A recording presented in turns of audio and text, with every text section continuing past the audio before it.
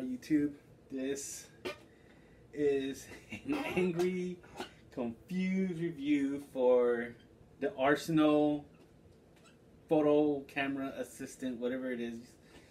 Um, it was a waste of money. The way they made the video look, the way they did the video, the way they promoted it, amazing. Like I got hyped when I saw it, and I did. This was last year or late last year, and I kept ignoring it. It was always on my feed, and um, so I started doing photography. So I mean, I'm not good at because I didn't take any classes, so I don't know how to do the, the the settings, and I really don't know what I'm doing until I saw this thing. Like, wow, it'll do it for me. All I gotta do is take pictures, and then I the pictures are shown the video, and I was like, wow, that looks amazing. I want this.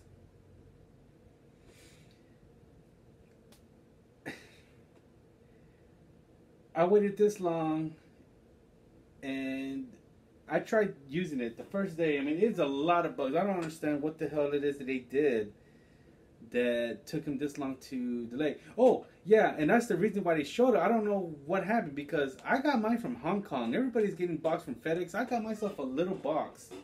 A little piece of junk, but I don't even know where it's at. But I have a little. It came from Hong Kong. Why? Is that the reason why it was delayed? I don't know because they banned me on their Facebook, social media, even on Instagram. They blocked me because of what I had to say because I was calling them out on their bullshit. So if you're watching this Arsenal, it is what it is, dude. Oh, and they also don't respond to me on email because I guess I'm aggressive. But the first message, I first email I did, yes, I was mean. But the other two was because I found loopholes or trying to adjust it. But as of right now, I just turned it on a little while ago. It actually came on immediately. Last time, last the first two days I had it, um, I had trouble connecting to it, but now I'm actually connected. It's actually, yeah, so it's actually working right now.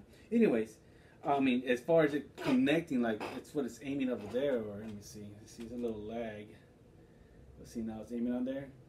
But this is a Canon 7D Mark One. I would show you pictures, but I mean, I don't know how to set it up on this, but I'll probably put some pictures or send a link on it to look at the picture. What exactly is supposed to do? Because I turned it on, took a picture.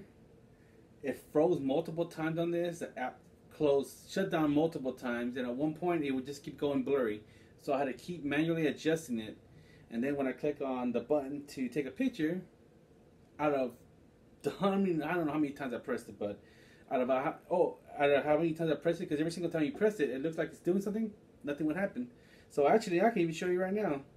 Out of all the pictures I took, let me see. This is the only picture. You can't even see it on here. But I tried taking a watch out, because there's an option, and look, it crashed. It's, it crashed. So let's try that again that piece of crap. So you saw that. I didn't touch it. It crashed itself. Okay. So it log. Okay, there it goes. So now I'll log back on. You gotta click on this for live view. You heard that? Switched over. So now, let's see. Okay, so now it picks up so you can see a little lag. I mean, I guess that's how it works. They should have did Bluetooth. I don't know why they did Wi-Fi. They should have did Bluetooth connection. I don't know. I mean, maybe I don't know about the technical term for that or why they did that. But okay. So, anyways, here it goes. Um, little off track on that. Uh, I'm not exactly sure what it is that they're supposed to do. Like maybe um, this got we all got bamboozled as as far as people who got this because it takes forever to take a shot. It has to focus a lot. It's constantly always focusing, and when you finally take a shot, you finally take a shot. But then, man, out of all the times I pressed the the button for take a picture, it took one shot. I kept pressing it, pressing it, and then it locked up and the door crashed. Um, they got us. Unless I don't know what the hell I'm doing. I mean, I follow the instructions. It's, I mean, I'm a tech geek, so I mean, it's real simple to use. It's just that it's not as impressive as I thought it was going to be. Kind of like the Apple Watch. It's I thought it was going to do a lot more stuff, but not really. But this one, I the pictures make you like the way they show in the video and the ads. The pictures look amazing. Mine just has a picture of a tree, like nothing special about it. They Didn't focus, they didn't blur out nothing. It's just a picture of the tree, and that is just the what what I see is what I took a picture of. Like it didn't do nothing special. So I don't know what exactly is it supposed to do. So I went off and just took the assistant off, took a picture with just looking at myself. No difference. Oh yeah, my bad. Mine was a little bit darker, like a little hint of tint. That was the only difference. Um, I really don't know what was the point. I don't know what I was thinking buying it. I thought I was gonna be doing a lot more stuff for me, but it, it's not worth it. I mean, it's not bad for. I mean, I guess it's better than spending over two hundred dollars for the Wi-Fi adapter you could buy for the Canon 7D. Other than that, if you already have a Wi-Fi option on your camera, you do not need this. It, it, it's it's not it's no.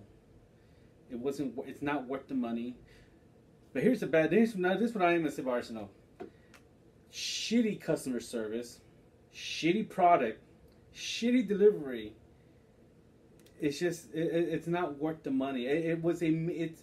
I learned my lesson. I will. I'm not. I would get a refund on it, but I'm not because Last time I did spend my money on a Kickstarter was for that thing coin, and if you don't know what it is, read up on it. That was a major fail, and this is also a major fail. Unless they figure out what they're gonna do, unless they update it.